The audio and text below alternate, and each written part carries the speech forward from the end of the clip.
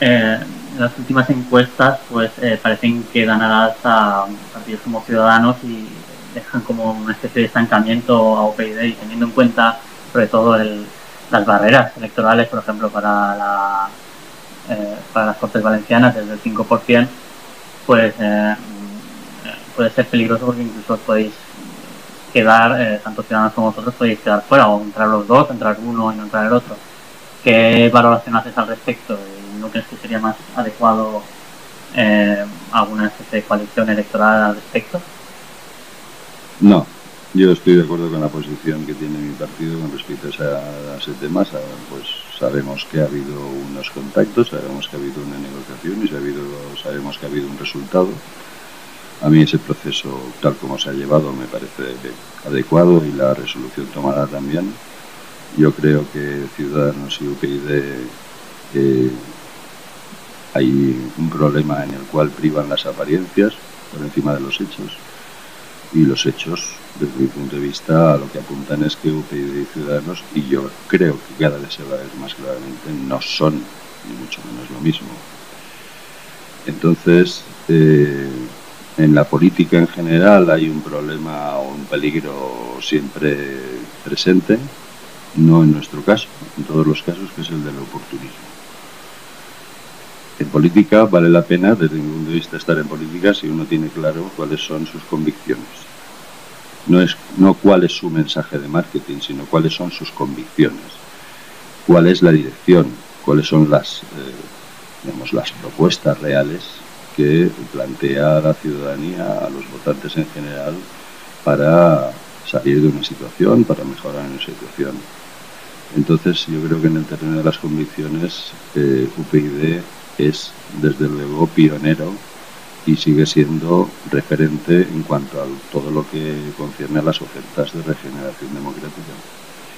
Y a mí me parece que Ciudadanos, tanto por, la, por sus hechos, eh, no, son, no son referentes de la regeneración democrática, ni, ni cómo están, ni por, ni por cómo están creciendo, particularmente en la comunidad valenciana, ni tampoco por la solidez de sus mensajes que no es solamente es, no es que no sean los mismos que los de UPyD en algunas cuestiones importantes, como por ejemplo el modelo del Estado, etcétera, sino porque a mí me da la impresión de que son más bien operaciones de marketing. Has hablado de hechos, ¿podrías concretar algunos hechos en concreto que te Bueno, hechos son, refiriéndonos a la primera cuestión, dos modelos de implantación organizativa y territorial completamente distintos.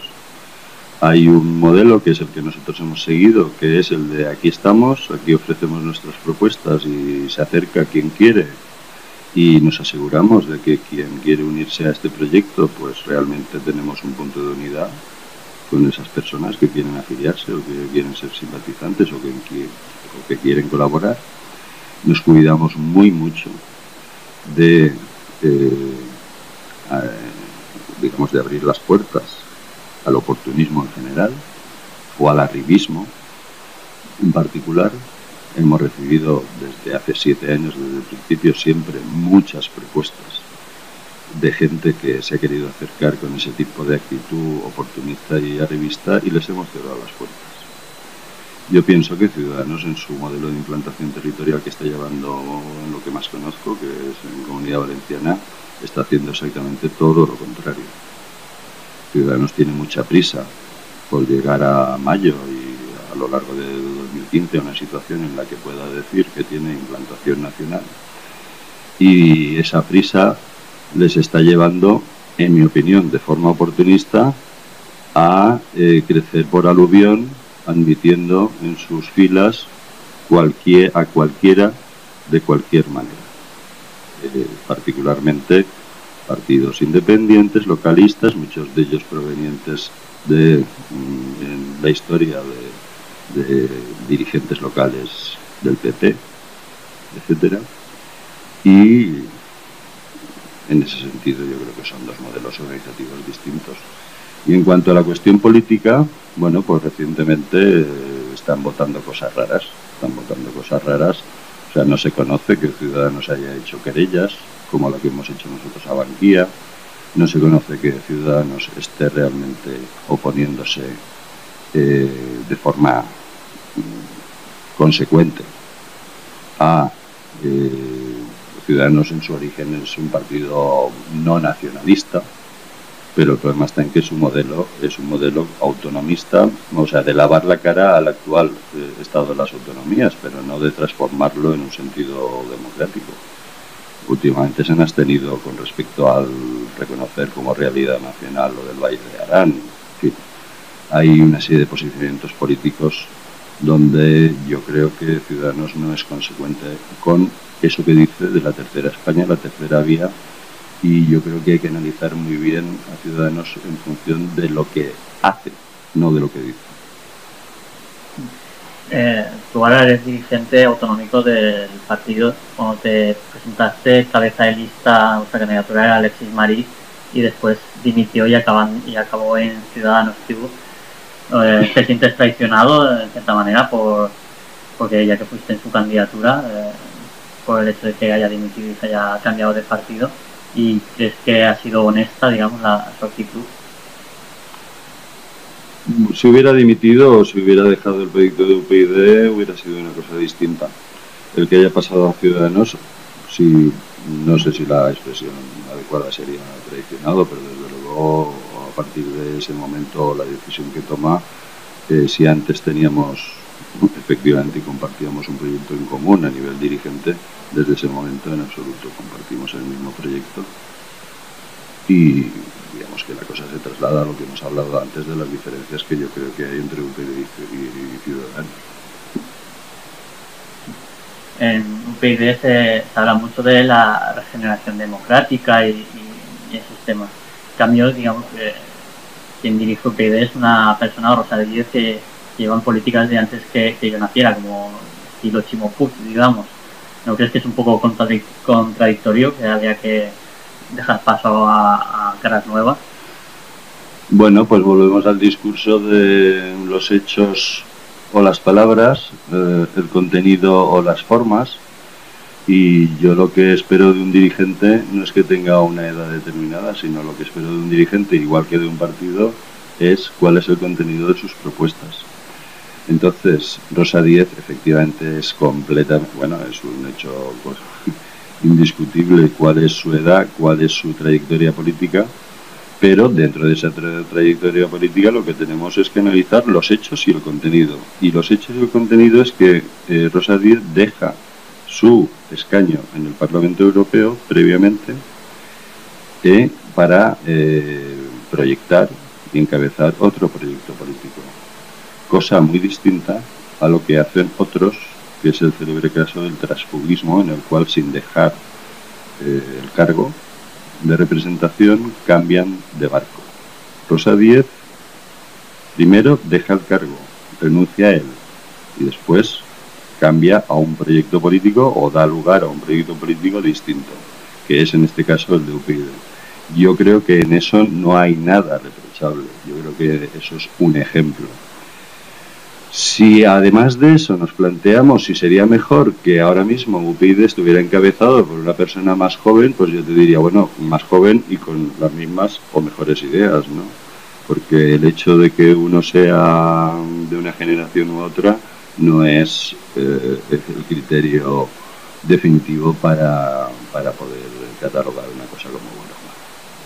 Hemos pedido a los lectores de Castellón Confidencial que te hagan algunas preguntas a través de Facebook vamos a leer, bueno, todas las que han hecho. Mm. Empezamos por el hombre hacia adentro, eso dos preguntas que hacemos primero ¿Estarían, ¿Estarían dispuestos a sacrificar las siglas y algo más para confluir y tener opciones de éxito? ¿O vendría un poco relacionado con las preguntas que hemos hablado antes? Para eh, confluir en una cosa que realmente tuviera los fustes de lo que nosotros entendemos como regeneración democrática para este país, lucha contra la corrupción, y vías económicas de desarrollo posibles, sí. Confluir para conseguir posiblemente un tanto por ciento más de representación y por lo tanto unas cuantas butacas más donde sentar el culo, no.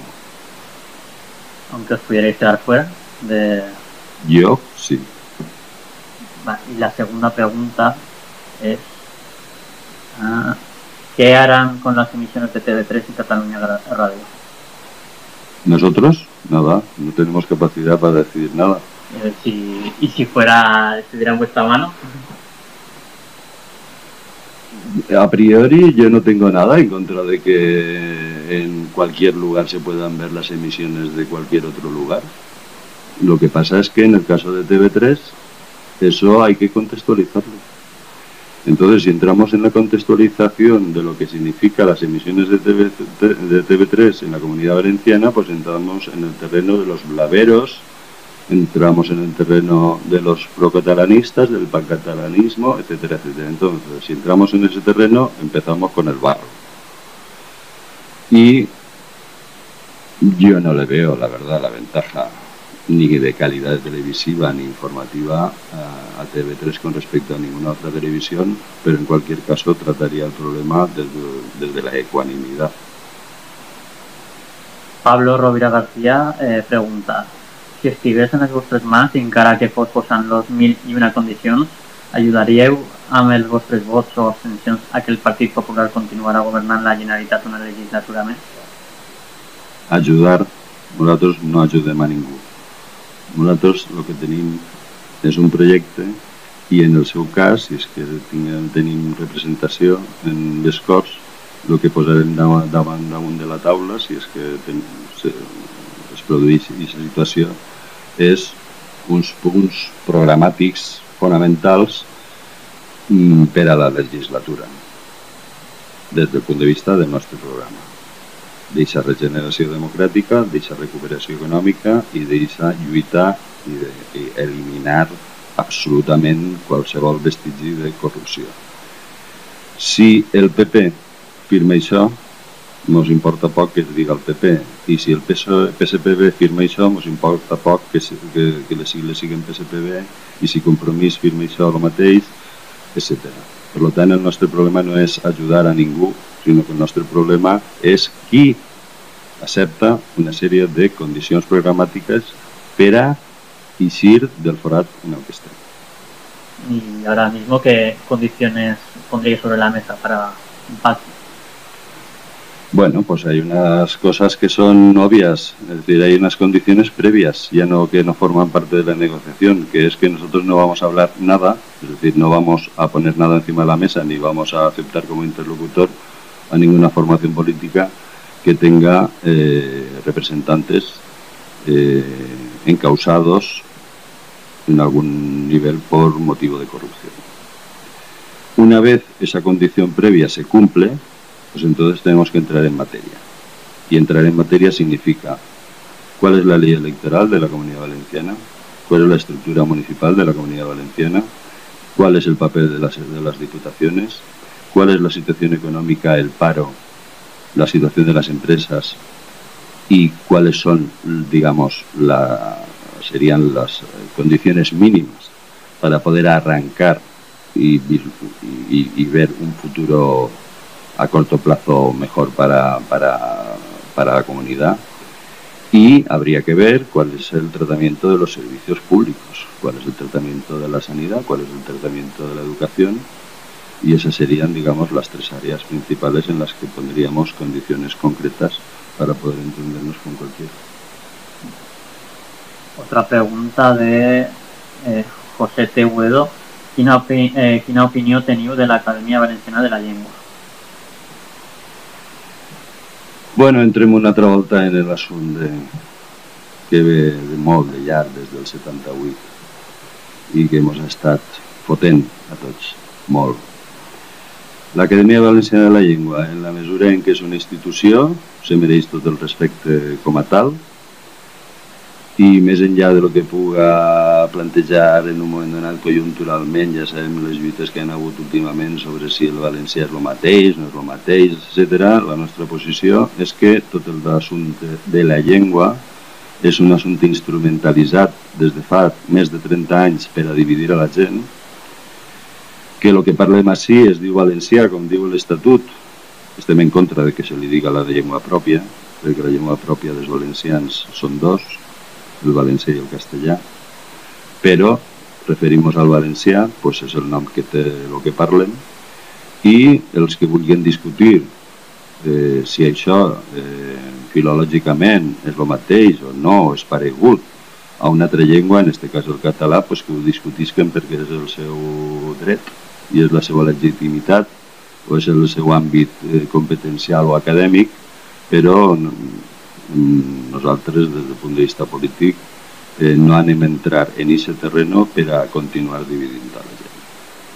Ahí cambiando un poco de tema, eh, para las elecciones locales, eh, ¿dónde os vais a presentar? ¿Os vais a presentar en, en bueno, en Castellón Ciudad? Ya habéis hecho primarias, ha salido elegido Pedro III, pero en otros municipios, ¿en cuántos vais a estar? Bueno, pues estamos en ello.